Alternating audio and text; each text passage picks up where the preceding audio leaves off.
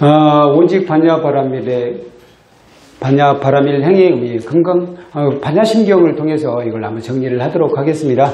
반야심경, 반야심경의 첫 문장 같이 한번 읽으실까요? 관자재 보살의 깊은 반야 바라밀다를 행할 때 온이 공한 것을 비추어 보고 온갖 고통에서 건너느니라. 여기서 깊은 반야 바라밀다를 행할 때 이 반야심경에도 우리 금강경에 수부리의 질문이 있듯이 반야심경에도 질문이 있습니다. 지금 우리가 읽는 것은 약본 반야심경만 읽고 있어요. 광본, 광, 넓은 광자, 광본 반야심경에는 질문이 있어요. 이 질문한 사람 누굴까요? 누구? 예? 수불이라고요? 반야신경을 때 우리가 반야신경 온갖 고통에서 건너느니라. 사리자여 색이 공과 다르지 않고 사리자죠 사리자. 음, 사리자가 질문 아니 수보리가 질문했는데 사리자여 해버리면은 제가 김다영 보살님이 질문을 했는데 김나영 보살님 하고 대답을 해드린 거 똑같잖아요. 그렇죠? 사리자 사리불 존자가 질문을 했어요. 뭐라고 질문을 했느냐? 반야 바라밀 행은 어떻게 닦는 것입니까? 이렇게 질문을 했어요. 그러면 반야 바라밀 행은 이렇게 닦습니다. 라고 대답을 해주시겠죠? 첫 문장이 그거예요. 깊은 반야 바라밀다를 행할 때 라고 했습니다.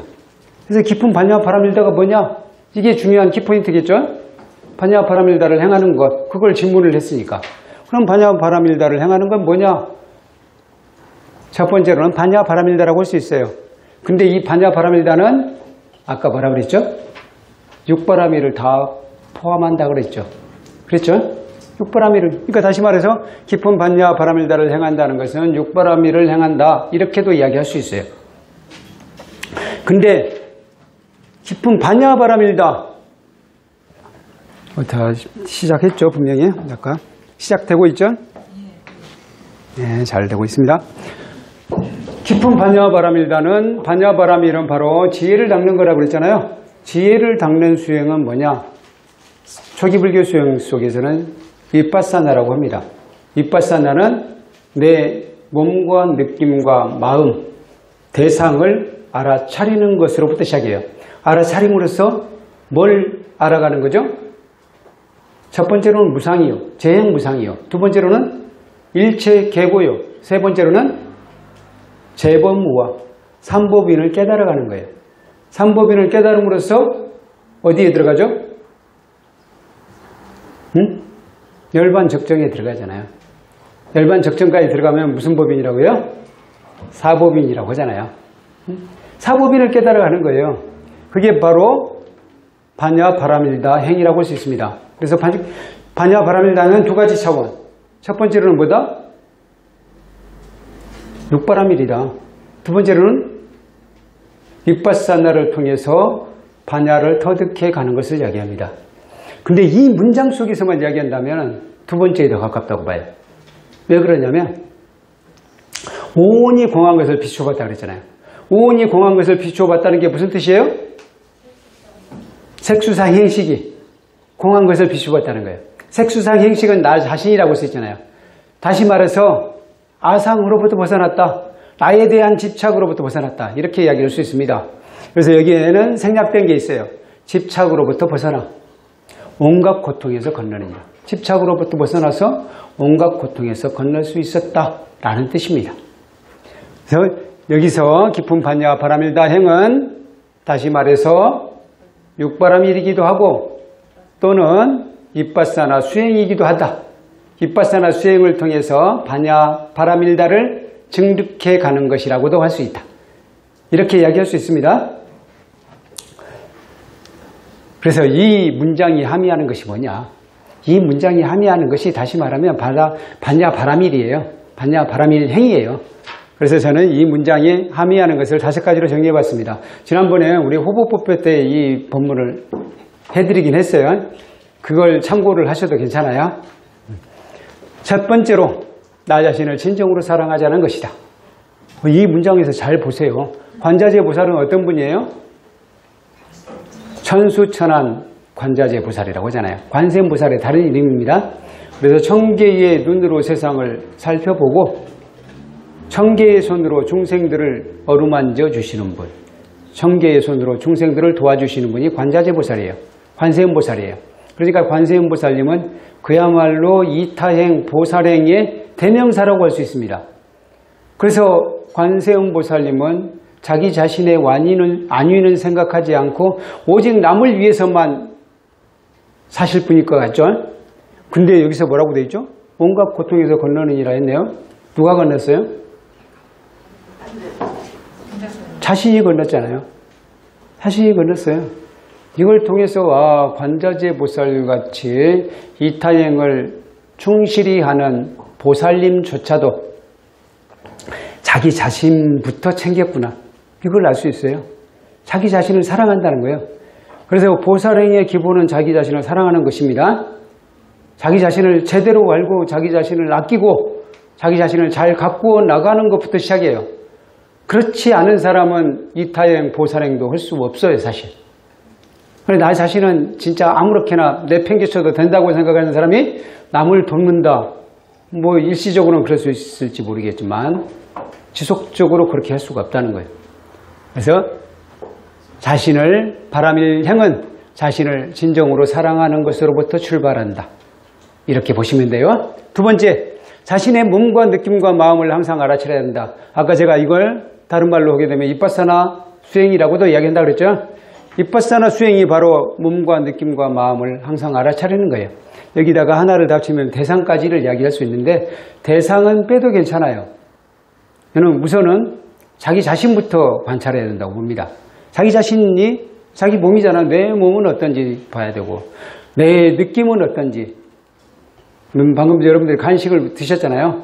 간식을 드실 때, 어, 이 과자, 제가 쿠키를 약간 먹었습니다만, 쿠키를 먹었을 때의 느낌을 우리는 관찰해야 돼. 늘, 늘 하는 습관을 들여야 돼. 그게 바로 반야 바람일 행위예요.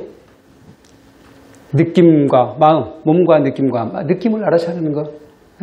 그래서 느낌을 알아차리고 거기에 집착을 해야 될까요? 집착을 하지 말아야 돼요.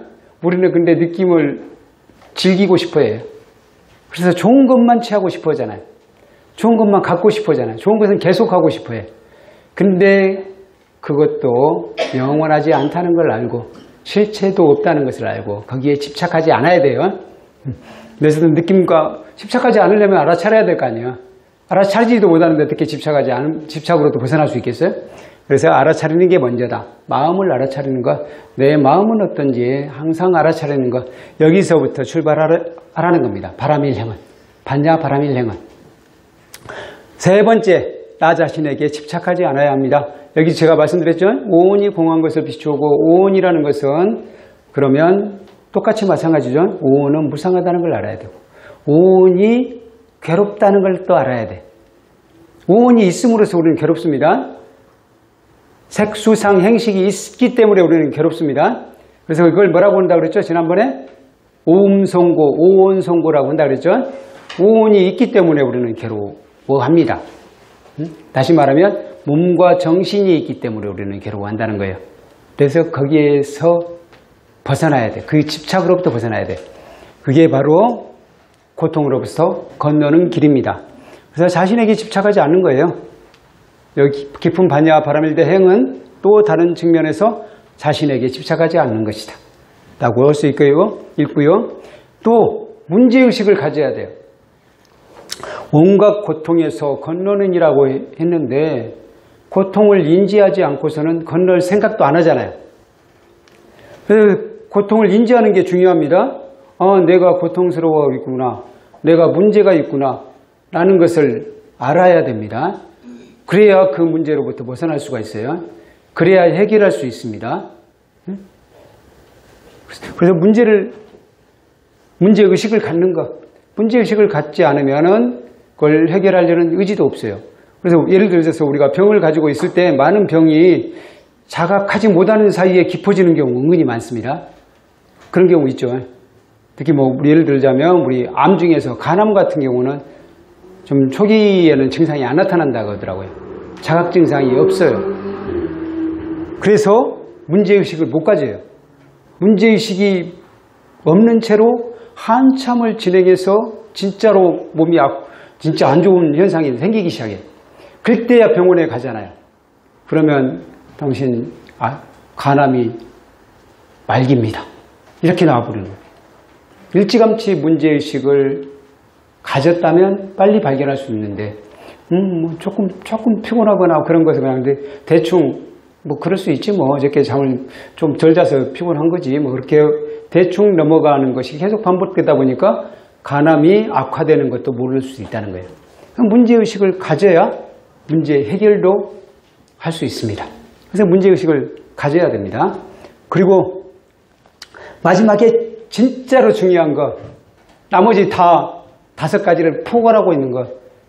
우리 불광이 늘 반야 바람일다를 하는 이유, 여기에 있습니다. 오직 반야 바람일다를 의지하는 것이 모든 문제 해결을 포함하고 있기 때문이에요. 그래서 이 우리 반야심경에 이런 부분이 있어요. 오직까지 넣어서 같이 한번 읽겠습니다. 얻을 것이 없는 까닭의 보살은 오직 반야 바람일다를 의지함으로 마음에 걸림이 없고 걸림이 없으므로 두려움이 없어서 뒤바뀐 헛된 생각을 멀리 떠나 완전한 열반에 들어가며 삼세의 모든 부처님도 오직 반야 바람일다를 의지함으로 최상의 깨달음을 얻느니라. 지혜도 어둠도 없느니라. 이런 부분이 나오죠. 반야심경에 그 다음 구절이에요. 얻을 것이 없으므로 얻을 것이 있다고 생각하게 되면 뭘 하게 되죠? 집착하게 돼요. 집착하게 돼요. 집착하게 되면 그 다음이 안 돼요. 온갖 고통에서 건너지지가 않아요. 집착에 빠져버려서 애착으로 들어가 버려요. 애착으로 들어가면 애착 속에 즐거움도 있어요. 즐거움이 있으니까 그냥 꿀물을 받아 먹으면서 살잖아요. 집착 거기에 그냥 빠져 있는 거예요. 근데 얻을 것이 없다는 것을 알면 거기에 집착하지 않습니다. 그래서 얻을 것이 없는 까닭에 대신 뭐에만 얻지 않느냐? 반야 바람일다에만 의지한다는 거예요. 여기서 반야 바람일다는 바로 일종의 지혜라고 들수 있고요. 이것들을 다 포함한 것일 수도 있습니다. 그래서 오직 반야 바람일다에만 의지해. 반야 바람일다에 의지해. 이걸 저는 이렇게도 생각해요. 우리 수행자들은 오직 수행에만 몰두하자 그런 말을 많이 하거든요. 선방에 가면 오직 할 뿐이란 말을 많이 해요. 오직 할 뿐이다. 어떤 아름 아리도 또는 내가 이 수행을 통해서 견성을 하느니 그런 것도 다 버리고 오직 수행할 뿐 이런 말을 많이 하거든요. 그걸 다른 말로 하면은 오직 반야 바람일다를 행할 뿐이에요. 난 이런 모습을 많은 뛰어난 사람들에게서 많이 발견해요. 훌륭한 사람들 이런 분들은 오직 반야 바람일다를 행할 뿐인 경우가 많습니다. 그런 분들은 그걸로 인해서 무슨 이득을 얻느니 그런 생각하지 않아요.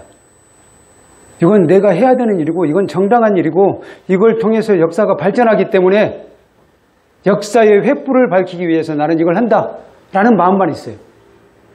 그러니까 지난번에 제가 한산이라는 영화를 보면서 이순신 장군 실제 이순신 장군이라기보다는 그 영화 속의 이순신 장군이 저는 그렇게 보였어요. 아 이분이 오직 반야 바람일다만 행하고 있구나. 이분은 그냥 우리 백성들, 백성들을 위하는 마음, 나라를 위하는 마음, 그것 외에 다른 일체에 고려하지 않아요. 이, 이 일이 우리나라에 도움이 되느냐, 우리나라를 구하는 데 도움이 되느냐, 백성에게 도움이 되느냐, 그것만 생각하고 그걸 위해서만 살더라고요. 아, 그게 바로 오직 반야 바람일다를 행한다는 것이구나. 그런 생각이 들더라고요. 응?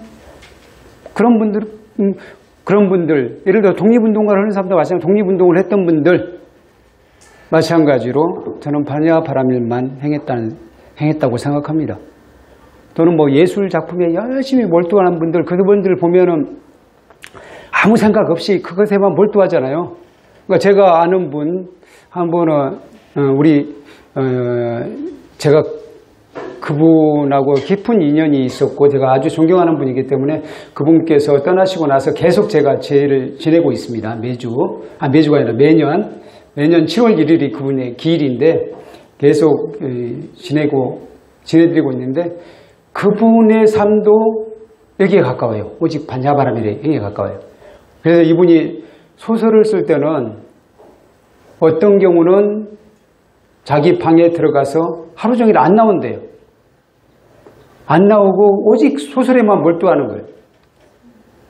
그러면은 그 사모님이 계시는데 사모님도 문을 안 열어본대요. 문을 안 열어본. 그래서 꼬박 하루를 그냥 밥도 안 먹고 쭉 내리 내리 쓴다는 거예요. 내리 쓰고 연구하고 오직 그것만 하다가 이제 어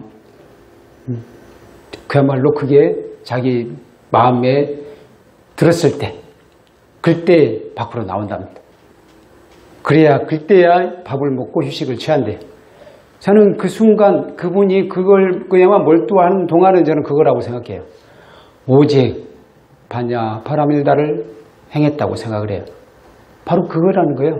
거기에는 어떤 계산도 없습니다. 어떤 사심도 없어요. 오직 그것에만 몰두하는 거예요. 저는 그게 바로 반야 바람일행이 아니냐. 그래서 제가 오직이란 말을 넣은 거예요. 오직. 여기에는 일체 고려 없습니다. 일체 사심 없어요.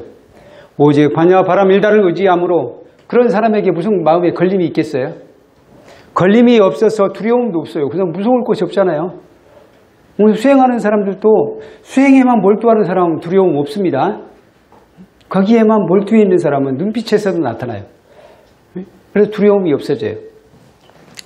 뒤바뀐 헛된 생각을 멀리 떠나 완전한 열반에 들어가며 그렇게 해서 그야말로 수행이 완성이 됐을 때는 완전한 열반에 들어가게 되는 것이죠. 지극한 평화, 어떤 번뇌도 없는 경지에 들어갈 수 있습니다. 3세의 모든 부처님이 바로 3세 우리가 부처라고 하는 우리가 주황에 맞지 않는 그 부처님들은 다 이 반야 바람일다를 의지해서 최상의 깨달음, 안욕따라 삼약 삼보리를 얻었다는 겁니다.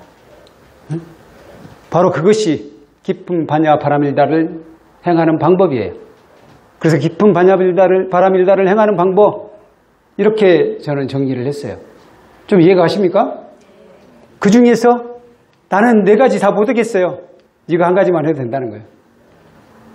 근데 이걸 한 가지를 제대로 할 수 있는 사람 이것만 해도 되는데 저는 이렇게 하는 게 좋더라고요. 저는 이렇게 하나하나 실천해 나가는 게 제 근기에는 맞더라고요. 근데 뛰, 진짜 뛰어난 사람은 이것만 해요. 이것만 해서 더 빨리 가요. 이건 지름길이에요. 이건 지름길이고 이건 지름길이 아니라 지름길이 아니라 그냥 하나하나 정거장 거쳐서 정거장에서 쉬었다가 완행열차라고 생각하면 되겠네. 이건 급행열차, 한 번에 가는 급행열차, 한 번도 안 쉬고 가는 급행열차고 이건 쉴 때 다 쉬고 가는 완행열차라고 생각해도 괜찮아요. 저는 이걸 선호해요. 왜 그런지 아시겠어요? 급행열차는 급행열차는 대체로 진짜 근기가 뛰어난 사람들만 가는 것이기 때문에 에, 근기가 뛰어난 사람들만 가기 때문에 근기 약한 사람의 마음을 모를 수가 있어요. 그래서 저는 설사 제가 이걸로 갈 수 있다 하더라도 저는 이쪽으로 가고 싶어요. 그래서 하나하나 짚어가면서 천천히 꼭 빨리 가는 것만 좋은 것은 아니니까 천천히 한 걸음 한 걸음 그렇게 가고 싶습니다. 근데 어쨌든 중요한 것은 그럼에도 불구하고 항상 이걸 염두에 둬야 돼. 그 다른 거 하나씩 하나씩 하다 보면 이걸 또 잊어버려요. 아 오직 반야바람일다에 의지해야 되는데 거기에 또 딴 생각이 끼어들 가능성이 있습니다. 그래서 다시 또 다짐을 해야 됩니다. 오직 반야바람일 행. 우리 선방의 수자들이 항상 하다 보면 또 다른 생각이 나거든요. 그래서 그리고 하다 보면은 뭔가 아주 특별한 니미따가 뜨기도 하고 막 빛이 보이기도 하고 그러면서 황홀함을 느끼면서 다른 생각을 해요. 그럴 때 뭘로 들어가느냐? 오직 수행할 뿐. 이렇게 들어가거든요. 마찬가지로 그 어떤 현상이 와도 완벽하게 내가 진짜 열반에 도달했다는 생각이 확신이 들지 않았을 때는 그냥 가는 거예요. 오직 반야와 바람일다에 의지하는 마음으로 뭐 그 안에 많이 폭풍이 불고 태풍이 불고 해도 그냥 가는 겁니다. 그게 바로 오직 반야와 바람일다에 의지하겠습니다. 그래서 이 네 가지로 저는 차근차근 가겠다는 마음이지만 한편으로는 이걸 또 항상 염두에 둔다는 이 안에 하다가 보면은 온갖 현상이 생기거든요. 그런 일시적인 현상 때문에 현혹되지 말자 하는 의미에서 다시 오직 반야와 바람일다에 의지하겠습니다. 아, 이게 지금 육바람일의 완성이라고 할 수 있어요. 육바람일의 최종적인 결론, 다시 말하면 우리 불광의 결론이라고 봐도 돼요. 바람일행에 대한 우리 불광의 결론이다. 그걸 제가 반야심경으로 한번 풀어드렸습니다. 좀 이해가 가셨습니까? 네, 이해가 가셨으면 이제 이런 방식으로 바람일행을 실천해 가시면 되겠습니다. 그래서 이겁니다. 그림으로 그리자면 건너가잖아요. 그래서 고통의 바다예요. 그런데 실제로는 이곳이 바로 이걸 건너가서 어디에 있는 것이 아니라 이곳 자체가 바로 열반의 바다다 사실은 극락의 바다다. 바로 이것이. 그래서 그걸 정리를 했습니다. 이런 방식으로 정리를 했어요. 방금 제가 말씀드렸던 것을 다른 방식으로 풀어서 정리를 했습니다. 같이 읽어보실까요? 우리도 관자재 보살처럼 자기 자신을 바로 보고 자기 자신을 진정으로 사랑하며 모든 것이 공하다는 것을 알아 집착에서 벗어날 것이며 오직 반야 바람일 행을 육바람일 십바람일을 딱 실천하여 진정으로 행복해집시다. 이게 바로 우리 육바람일의 결론입니다. 네. 이건 제가 PDF 파일 그리고 PPT 파일로 같이 올려드리겠습니다. 10바람일, 6바람일에다가 네 가지를 더 보태면 보살행을 하는데 훨씬 도움이 되더라고요. 그게 뭔지 간단하게만 말씀드리겠습니다. 첫 번째로는 방편이에요. 방편은 기술이라고 생각하시면 돼. 예를 들어서 내가 부산에 가기로 마음을 먹었어요. 그러면 부산에 갈 수 있는 운전 기술이 있어야 될 거 아니에요? 그게 바로 황편이다 라고 보시면 되고요. 기술만 있어서는 안 되잖아요. 기름이 있어야죠. 체력도 있어야죠. 그게 바로 원, 역, 아, 원은, 원은, 어, 목표 의식이에요. 부산으로 가겠다 하는 목표 의식이 있어야 된다는 거예요. 목표 의식이 없으면 표류하게 되죠. 역, 그러면 부산까지 갈 수 있는 힘이 있어야죠. 체력도 있어야 되고, 기름도, 자동차에 기름도 있어야 돼요. 그건 역에 해당합니다. 마지막으로는 지. 이 지는, 이 지는 반야지하고는 좀 달라요. 반야바람이라고는 좀 다른, 반야바람이라고는 좀 다른, 여기는 중생을 깨달음으로 인도하는 완전한 지혜라고 하는데 그들을 깨달음으로 인도하기 위한 일종의 분별지까지가 포함돼요. 그래서 그 중생이 근기가 어떻고 어떤 문제가 있고 그런 것을 판단할 수 있는 능력. 이 바로 이 짐이다. 그래서 이 분별지가 있을 때 그 사람에게 맞는 그 사람에게 꼭 맞는 것을 우리가 선택해서 제공할 수가 있습니다. 그래서 이 네 가지가 있다면은 보살행을 하는데 훨씬 더 유리하다. 그래서 제가 육바라미를 실천하고 십바라미를 실천하자. 라는 얘기를 하는 겁니다. 육바라미를 나름대로 그걸로 충분하지만 십바라밀까지 했을 때 보살행을 하는데 훨씬 더 유용하더라 하는 것입니다. 이제 사서법을 우리 또 어떻게 살 것인가 라는 주제죠. 사섭법으로 사는 것 훌륭합니다. 여러분들은 다 리더예요. 저는 리더 아닌데요 라고 하실 분이 계실지 모르겠지만 집안의 리더예요.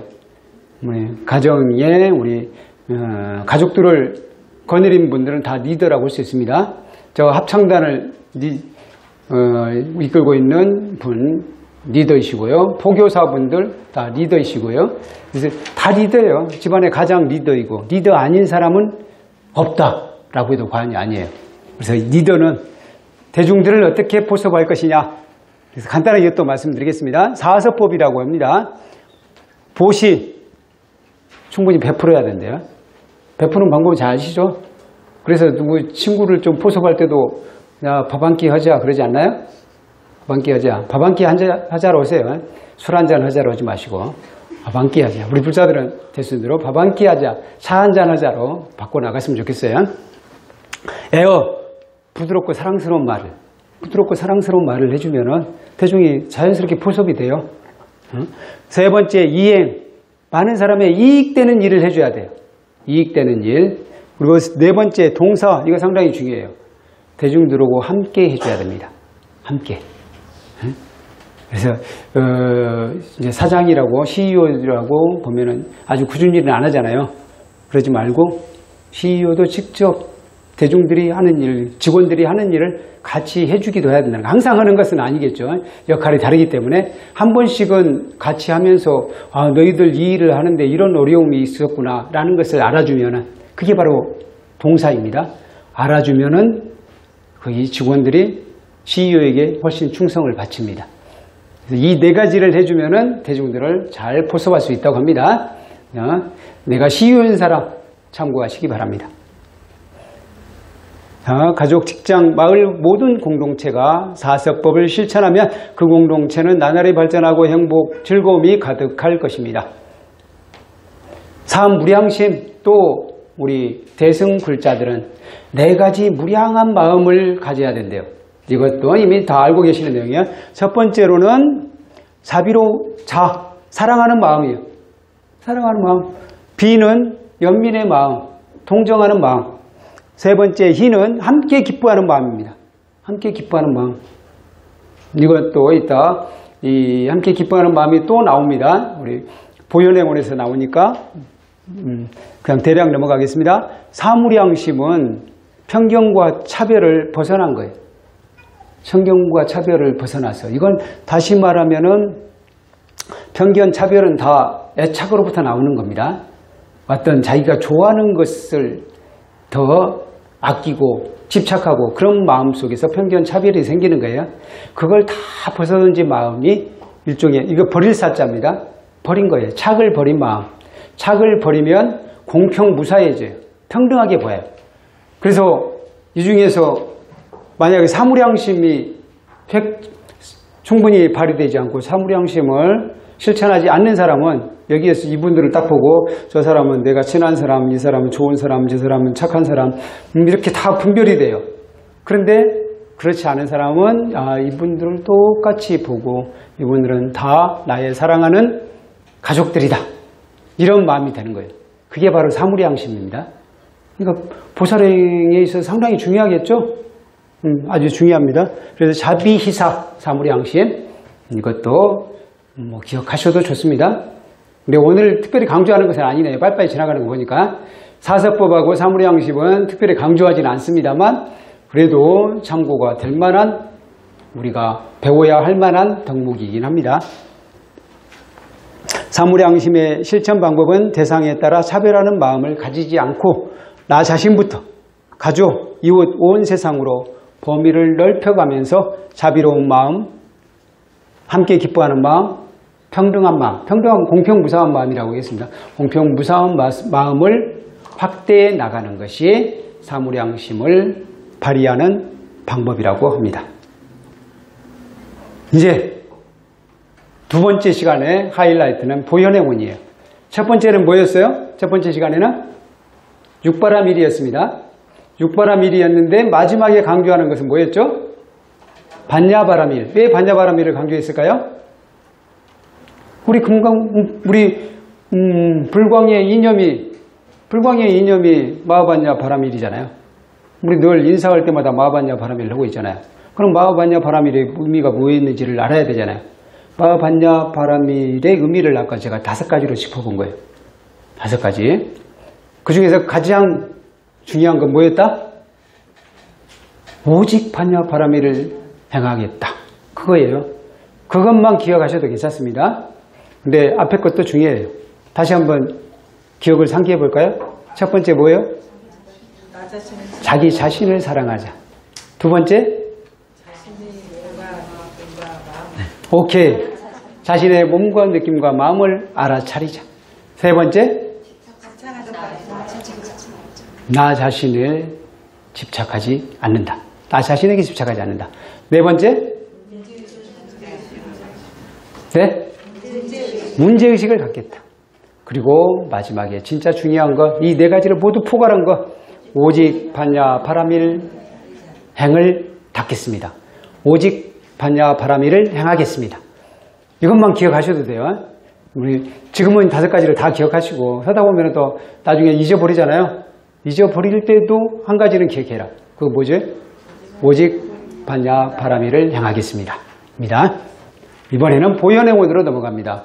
우리 불광의 두 축, 하나는 바라밀행, 반야 바라밀행이고 또 하나는 보현행원이다. 보현행원은 어디에 나오는 이야기냐면 80화엄경, 화엄경에는 40화엄경, 60화엄경, 80화엄경이 있어요. 세 가지 종류가 있는데 80화엄경의 마지막 품이 입법계품이에요. 입법계품의 선제동자가 선제동자라는 그 입법계품의 주인공입니다. 어린 소년이에요. 선제동자가 진정한 바람일 보살행을 보살행은 어떤 것인지를 보살은 어떻게 살아야 하는지를 알아보기 위해서 선지식들을 찾아다녀요. 맨 먼저 만난 분이 문수보살이고요. 맨 마지막에 만난 분이 보현보살이에요. 물론 이제 더 미리 말하면 문수보살 만나고 나중에 마지막에도 또 문수보살도 만납니다. 그러니까 어, 문수부터 보현까지 하면 53명이에요. 그래서 53선지식이라고 해요. 그래서 어떤 절에서 어, 순례 여행을 하는데 53선지식을 찾아서 뭐 그런 프로그램이 있더라고요. 여기서 나온 겁니다.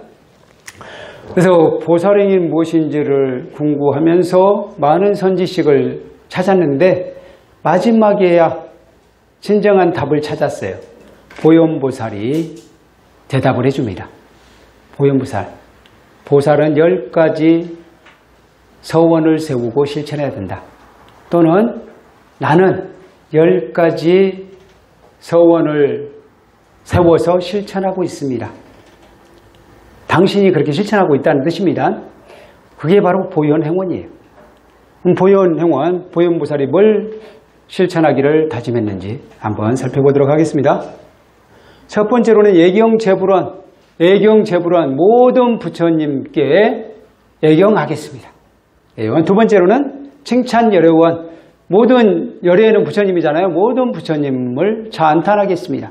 광수 공양원 널리 널리 널리 공양을 행하겠습니다. 잠재 업장원 업장을 소멸하겠습니다. 참회하여서 참회를 통하여 업장을 소멸하겠습니다. 수의 공덕원 함께 기뻐하는 거예요. 함, 남이 짓는 공덕이라고 보면 됩니다. 공덕은 남이 짓는 공덕을 함께 기뻐하겠습니다. 수의 공덕원이고요. 여섯 번째 청전 법률원 이건 법을 청하겠습니다. 법을 청하겠습니다. 청불주세원 부처님께서 세상에 계시기를 청하겠습니다 죠. 부처님께서 오래 계시기를 청하겠습니다. 상수부라고 한 항상 부처님을 따라 배우겠습니다. 부처님을 따라 배우겠습니다. 상수부라고 한 항순 중생환 항상 수순하겠습니다. 중생을 수순하겠습니다. 이 수순이란 말이 좀 어렵죠. 순자가 그래서 이 순자에 대해서 저도 고민을 많이 했는데요. 어떤 분이 저에게 답을 주시더라고요. 섬기다라고 하면 딱이다 그러더라고요. 중생을 섬기겠습니다. 예. 항순 중생원은 항상 중생을 섬기겠습니다. 보계 해양원은 널리 모두를 회양하겠습니다. 내가 지은 모든 공덕을 회양하겠습니다. 이 열 가지입니다. 이 열 가지를 오늘 제가 강조하는 것은 이 것보다는 이 열 가지를 일상에서 실천하는 방법이에요. 일상에서 실천하는 방법 열 가지를 말씀드려보도록 하겠습니다. 보현행원의 일상 속 구현이에요. 첫 번째로 첫 번째로 모든 부처님께 예경하겠습니다를 저는 누구를 만나든 먼저 인사하겠습니다라고 했어요. 누구를 만나든 모든 부처님께 예경하겠습니다는 모든 부처님 생각해 보면은 부처님은 한 분이 서가모니 부처님은 한 분만 이야기하는 거 아니죠. 또 과거의 부처님만 이야기하는 게 아니에요. 이런 불성을 가진 모든 존재라고 했어요. 그러니까 현재의 부처님뿐만 아니라 미래의 부처님까지를 생각한다면 모든 불성 있는 존재는 다 부처님이라고 생각하고 그들에게 예경하겠습니다. 인사하겠습니다. 그런 마음이지 않은 거죠. 그래서 누구를 만나도 인사하자는 거예요. 물론 뭐 길 가다가 만나는 사람보다 인사하자면은 인사하느라고 뭐 길도 못 갈 수 있죠. 음, 그렇게까지는 아니더라도 우리 절에 오시는 분들이라도 인사하자. 그렇게 살자는 겁니다. 누구를 만나든 먼저 인사하겠습니다. 두 번째로 가급적 칭찬하겠습니다. 찬탄, 부처님을 찬탄하겠습니다를 대신 해서 누구를 만나든 가급적 칭찬하겠습니다. 좋은 점을 찾아서 그러니까 칭찬하려면 될 수 있는 대로 사람의 장점을 봐야 되잖아요. 장점을 찾아서 칭찬하겠다는 거죠. 응? 칭찬은 고래도 춤추게 한다 그랬잖아요. 그래서 칭찬을 열심히 해보십시오. 그러면 그건 보현보살처럼 보살로서 사는 방법이 돼요. 세 번째, 내가 가진 것을 남에게 보시하겠습니다. 이건 우리 불자들이 잘 하시더라고요. 어, 보시하는 거. 근데 보시, 저는 재물이 없어서 보시 못 하겠는데요. 아까 재물 없이 보시하는 방법 많이 배웠잖아요. 음, 재물 없이 보시하는 방법 많습니다. 그래서 그걸 다, 음, 근데 그게 다 내가 가진 것이에요. 근데 내가, 어, 남에게 미소 지어주는 거, 미소 남의 것 아니잖아요. 내가 가지고 있는 거예요. 근데 미소를 지어주는, 지어주는 것만으로도 보시가 된다고 했으니까. 음, 보시를 실천하지 못할 사람은 없습니다. 네 번째, 먼저 사과하겠습니다. 업장을 참여하겠습니다. 이걸 먼저 사과하는 쪽으로 한번 실천해 보자는 거예요. 사과하기 쉽지 않잖아요. 저도 쉽지 않더라고요. 특히 내는 한 3 정도밖에 잘못하지 않았는데 상대방이 7을 잘못했을 때 사과 안 나와요. 근데 이럴 때도 최소한 3의 부분이라도 내가 잘못했다면 먼저 사과하는 것이 자신을 위하는 길이다. 그건 일종의 보살행이기도 하대요. 이걸 실천해 보신다면 내 삶이 훨씬 성공적인 삶이 된대요. 먼저 사과하겠습니다. 다섯 번째, 남이 잘 되면 질투하지 않고 진심으로 축하하겠습니다. 이것도 정말 어렵더라고요. 꼭 남이 잘 되면 어떻게 되죠? 배가 아프대요. 근데 나는 보현행원을 실천하는 사람이니까 오늘부터 실투하지 않겠습니다. 남이 잘 되면 기뻐하겠습니다. 이런 마음을 가져야 돼요. 뭐 연습을 해야 돼요. 계속해서 연습하다 보면 됩니다. 음. 여섯 번째, 남의 말을 잘 경청하겠습니다. 부처님께 법을 청하겠습니다 했는데 법을 청할 때 그런 자세로 남의 말을 잘 들어봐야 돼요. 이 여섯 가지, 이 여섯 가지는요, 성공의 지름길이기도 해요. 성공하는 사람은 이 여섯 가지를 가만히 보면 잘해요. 그걸 다 잘합니다. 성공하는 사람이 남한테 인사 잘안 하는 사람 별로 없어요. 인사성 바른 사람들이 성공해요. 그리고 칭찬 많이 하는 사람들이 성공합니다. 그리고 성공하는 사람은 보시도 잘해요. 먼저 사과합니다. 사과할 일에서 끝까지 버티지 않아요. 성공하는 사람은 먼저 사과합니다. 그리고 남이 잘 될 때 함께 기뻐해 줍니다. 질투하지 않습니다. 질투를 많이 하는 사람, 물론 질투하는 사람 중에서 성공한 사람이 있긴 하겠죠. 그런데 크게 성공하지 못해. 성공했어도 성공한 것이 아니에요. 왜? 자기 마음이 편하지 않으니까. 세상에는 나보다, 자기보다 잘하는 사람이 더 많지. 뭐든 비교를 하다 보면 잘하는 사람이 많지. 나보다 못하는 사람이 많지는 않습니다. 아니, 많다 적다로 해보니까 헷갈리네. 잘하는 사람이 은근히 많습니다. 그럴 때마다 질투하면 얼마나 힘들겠어요. 그래서 잘 됐어도 행복하지 않다는 거예요. 잠이 잘 됐을 때 질투하지 않고 진심으로 축하하는 마음, 그게 성공의 지름길이요, 행복의 지름길이다. 남의 말을 잘 경청하는 사람, 이거 굉장히 중요해요. 저도 말을 하는 것을 막 오히려 좋아하는 것 같더라고요. 근데 그 자세를 이 보현응원을 생각하면서 고치려고 노력합니다. 그리고 남이 제 말을 깨, 끼어들어서 막 이야기하면 예, 그냥 듣습니다. 그리고 아, 내가 들음으로써 이익받다라고 생각해요, 그냥. 내 말을 하게 되면 내가 아는 것을 보여준 거잖아요. 근데 내가 들으면은 나는 그대로 있는데, 난 그대로 있는 게 아니죠. 상대방은 말을 했기 때문에 나에게 뭔가를 준 거잖아요, 어쨌든. 근데 나는 그걸 받아들이기만 하면 되는 거잖아요. 그래서 오히려 이익받다고 생각해. 그리고 내가 할 말을 상대방이 해줬으면 내가 에너지를 더쓴 거잖아요. 듣는 것이 말하는 것보다는 좀 더 쉽잖아요. 그래서 내 말 대신해 줬으면 뭐 그것도 고맙다고 생각하고 그래서 이 보현행원을 생각하면서 남의 말을 잘 경청하겠습니다. 뭘 실천합니다. 이 여섯 가지만 성공해도 인생은 성공한 성공 행복한 것이더라고요. 일곱 번째부터는 좀 심화학습이라고 할 수 있어요. 살아있는 생명이 오래 살 수 있도록 방생하겠습니다. 그러니까 봉사활동도 여기에 해당합니다. 여덟 번째, 가르치기보다는 배우는 자세로 살겠습니다. 6번하고 좀 연결되기도 하지만 어떤 항상 어떤 행위를 하든 배우는 자세로 살자. 아홉 번째, 누구든 귀하게 대하고 평등하게 대하겠습니다. 아까 중생을 수순하겠습니다 를 이렇게 보았습니다. 누구든 귀하게 대해주는 거, 그거 굉장히 중요한 것 같아요. 어떤 사람을 만나든, 허름한 옷차림을 했든, 좀 부족한 사람이든, 어떤 사람을 만나든 똑같이 대해주는 거, 그게 그 사람에게는 진짜 평생 잊을 수 없는 굉장히 좋은 기억이 될 경우가 꽤 많아요. 그런 경우 많습니다. 많은 사람들에게 똑같이 평등하게 대해줘 보십시오. 그럼 어떤 분들은 아 남들은 다 나를 무시했는데 당신만이 저를 무시하지 않았습니다. 라는 경험이 있잖아요. 그 사람 평생 잊지 않고 늘 그 사람을 지지하는 쪽으로 갑니다. 그것도 한번 실천해 보십시오. 누구든 귀하게 대하고 평등하게 대하겠습니다.